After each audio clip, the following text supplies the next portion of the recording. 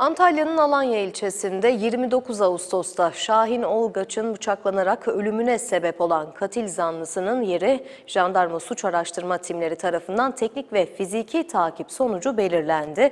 Jandarma ekipleri cinayet şüphelisini olaydan 73 gün sonra berberde tıraş olurken yakaladı.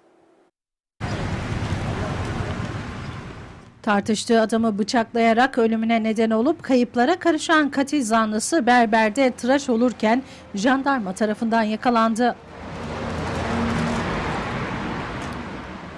Olay 29 Ağustos günü Antalya'nın Alanya ilçesinde bir apartmanda meydana gelmiş.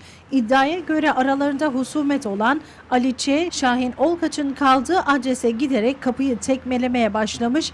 Olgaç'ın kapıyı açmasıyla tartışma çıkmıştı. Aliçe'ye kavga sırasında yanındaki bıçakla Olgaç'ı karnından yaraladı ve kayıplara karıştı. İhbar üzerine olay yerine gelen sağlık ekipleri yaralı Olgaç'ı ambulansla hastaneye götürmüş.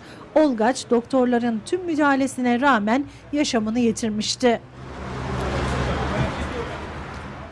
Jandarma ekipleri olay sonrası kaçan Ali Ç'nin yakalanması için çalışma başlatırken soruşturmayı derinleştiren Alanya İlçe Jandarma Komutanlığı ve Jandarma Asayiş Suç Araştırma Timi ekipleri şüpheli Ali Ç'nin Antalya'da olduğunu belirledi. Ekiplerin yaptığı teknik ve fiziki takipte Aliçe Muratpaşa ilçesinde bir berberde tıraş olduğu sırada yakalanarak gözaltına alındı. Alanya'ya götürülen ve jandarmadaki işlemleri tamamlanan Aliçe sevk edildiği adliyede tutuklanarak cezaevine gönderildi.